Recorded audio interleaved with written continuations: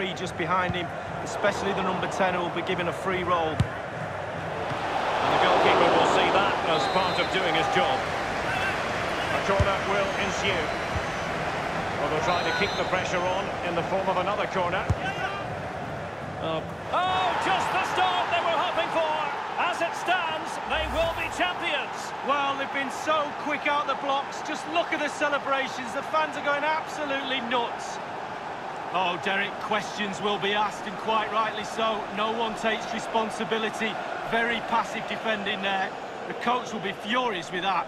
Well, the manager knows the importance of that goal. He also knows that you're at your most vulnerable just after you've scored.